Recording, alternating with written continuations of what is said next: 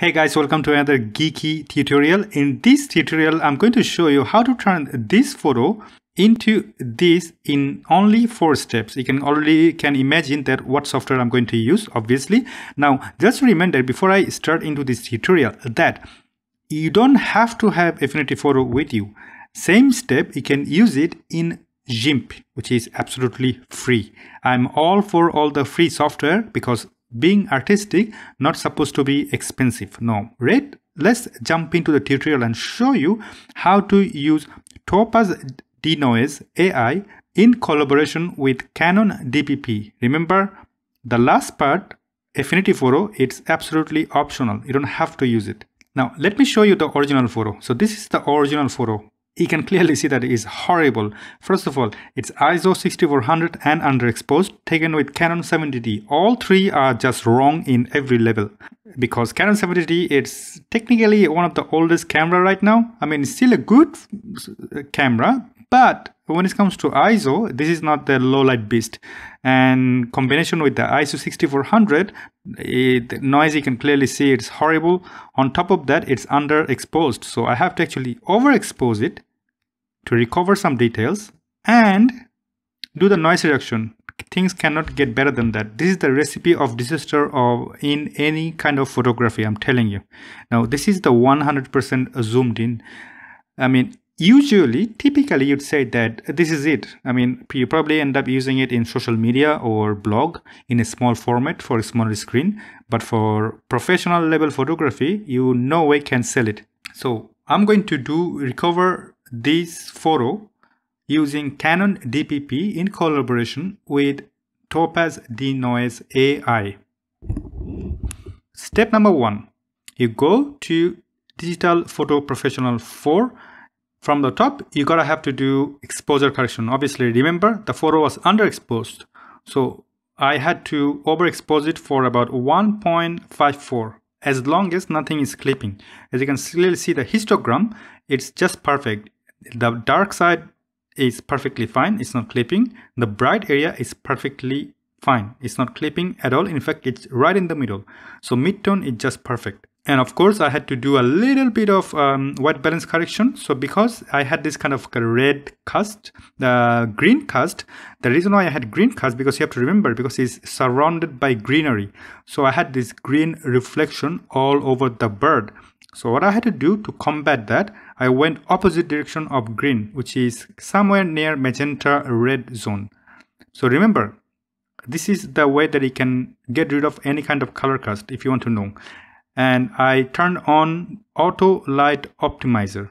Then photo style, I did standard because it's nice, crunchy and beautiful. I like it, my personal favorite. At the bottom, I reduced highlight about minus 3 to um, compensate from upping my brightness at the top. And color tone, I went to plus 2, as you can clearly see. So plus 2 is also somewhat make the whole thing reddish. Not really red, but it has this kind of negative green uh, tone, which is also a great tool to get rid of any kind of color cast, just to let you know. Now, in the lens correction, I turn on the digital lens optimizer. Clearly see that in 1.2, the digital lens optimizer recovers a lot of details and adds some micro contrast. Then turn on your color blur, color blur, the peripheral illumination. Basically, that's like a vignette. Simple as that. But my lens is 70 to 200 f4 L lens. So very rarely I have vignette and you turn on the distortion correction of course. Now this is the important part. Now this is where you have to pay attention. You make sure that luminance noise into zero but leave the chrominance noise to default. Extremely important because let the canon canon software look after the color noise and let the topaz to look after everything else. Then you also have to get rid of or disable sharpness. Again, because Topaz Denoise will look after the sharpness as well. So you don't want to over sharp anything. It is a very crucial step guys. Remember. Now when you export it, make sure you export in TIFF 16 bit. right? But leave everything else as it is. Don't, don't worry about it, but make sure you export it in 16-bit TIFF file. Now open Topaz Denoise AI, then drag and drop it. It's going to take some time to generate a preview. Usually takes about few seconds. Personally, I would wait and take my time. Then immediately you see the automatic AI clear mode. It give you a default result to me the blur area with the automatic mode doesn't look very good to me. It has this all kind of weirdness into it. Yeah there are a little bit of recovery obviously. It looks a lot better than the previous one. But when you're paying for a specific specialized software you want magic period. So even in 50% zoomed out it doesn't look that great in my opinion Again, this is the 100% uh, fit. It did uh, some kind of improvement. In fact, it improved uh, quite a lot, but I don't like it. So what I did, I went to the denoise AI and then I manually added 59 to remove noise. I added 76 to add some sharpness. The recover original detail to 46 and color noise reduction to 22 and boom. Did you see that? Extraordinary. So much it's almost almost to me I don't know about you but I think it looks like the photo is taken at ISO 100 in broad daylight. This is just top class. The feather looks really nice. The branch looks quite natural to me. And the blur area basically cleaned up like a magic. It's, look at the contrast side by side. Extraordinary change. I mean, it's incredible. This is where the money is going. Now, remember, if you want to edit it further in Photoshop, GIMP or Affinity Photo or even Lightroom if you have one or Silky Developer Studio Pro, something like I use, then you must export in TIFF to have the maximum color and information. There is a very important step. But if you're happy with the result like I am, because I'm personally very happy with it, I'm going to export in JPEG. What I, I'm going to do actually, in this case, I'm going to bring the TIFF over to Affinity Photo to add some touch contrast, but I'm going to show you the result first. So this is our final result combination with Canon DPP, Canon DPP and Topaz Denoise AI.